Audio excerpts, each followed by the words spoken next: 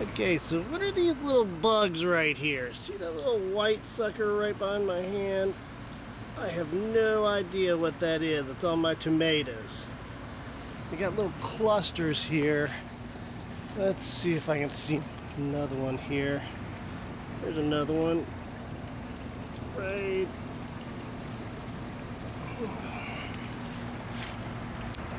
Different shapes and sizes. Picked a bunch of them off. Yeah, that's probably the biggest one. Well, there's some right underneath it too, so. There, see those little suckers? What are those?